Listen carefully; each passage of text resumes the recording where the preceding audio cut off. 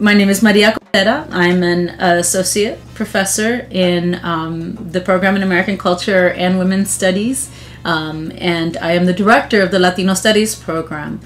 Um, in general, my work sort of lies at the intersection of ethnic studies and women's studies.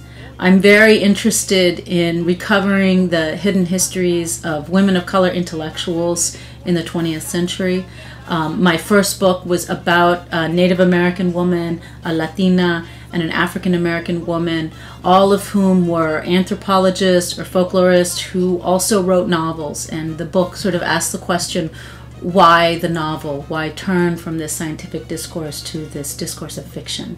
Um, my current work is really about uncovering um, the work of Chicana feminists in the second wave um, the sort of overall arc of it is thinking about the ways in which this thing that we call Chicana feminism developed from a grassroots engagement with the on the ground politics, Chicano politics, and feminist politics, and turned into what is now largely an academic um, term.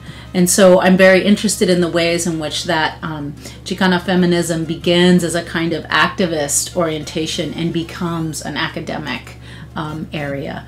So, so again, that's connected to my earlier work because it's really about showing or demonstrating that, you know, women of color were active thinkers, doers, activists, um, uh, political interveners, um, at a time when we don't normally consider them being active. And so, again, it's recovering these hidden histories of intellectual production um, over the long 20th century.